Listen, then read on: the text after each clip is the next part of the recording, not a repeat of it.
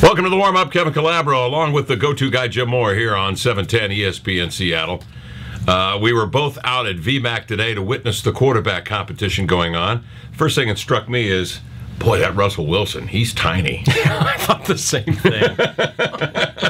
I did. I looked out there and I said, I'm sorry. Flynn didn't look that big either. If Lynn didn't look that big either. so let's just, uh, can we just table that discussion? I don't know how you can. Yeah, but he slides around. He finds those those spots to pass from. well, and he, and he did today He's at got the high release too. Sam Adkins was telling me the high release. High release, yeah. which makes it. That was funny because we I was talking to all three of the quarterbacks, Adkins, Huard, and uh, and Hugh Millen, and it's inter- really interesting to see through educated eyes the the difference in opinion that they have of the quarterback. So that to me. Uh, is, is was the most interesting part of going to the practice today is just to see them interact. Now, the other thing that really occurred to me, and you probably struck you too, is the number of repetitions that Russell Wilson got in practice working with the first team.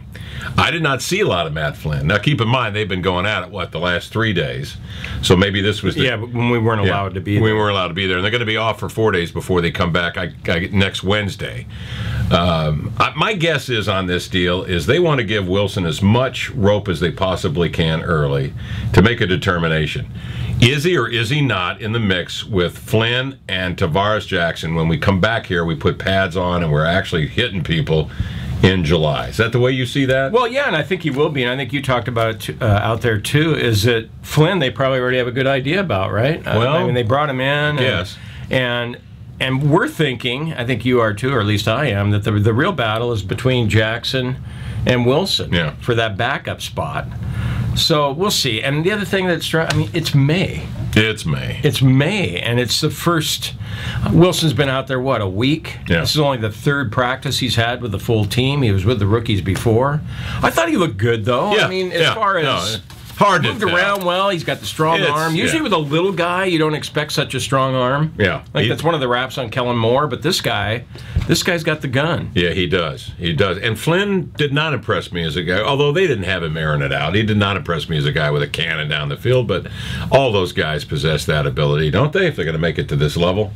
They've been around for a while. But of the three, to me, the untrained eyes, T-Jack looked like he had the strongest arm. He did. He looked like the the biggest athlete out there among the quarterbacks. Right? Yeah, he was. Uh, defense was outstanding. Browner uh, picked off, or actually Kam Chancellor picked off uh, Russell Wilson. Uh, the young linebacker, help me out, Wagner. Bobby Wagner. He looked good. He picked Wyman off. A, he likes picked off a. T-Jack pass. He picked off a pass, but Wyman said, "You know, I like the linebackers." He says, "Again, they don't have they don't have the equipment on, and they're not you know making contact out there." He says it's really hard to tell. So, and I'm sure it's this way every other spot in the NFL. These OTAs, everything looks rosy right now, through the prism of, like you say, late May. Well, and we're trying to microanalyze Yeah, this quarterback competition, and it's it's so early. And and Carroll has spoken at length about how he needs to be patient. It's going to be one of those things. It's what June, July, August. He's not going to make the decision for another three months. Yeah. And all this goes into it, uh, all these reps that uh, Russell Wilson got today, Matt Flynn got, and yes, Tarvaris Jackson as well. We'll talk about it on the show today at 3, right here on 710 ESPN Seattle.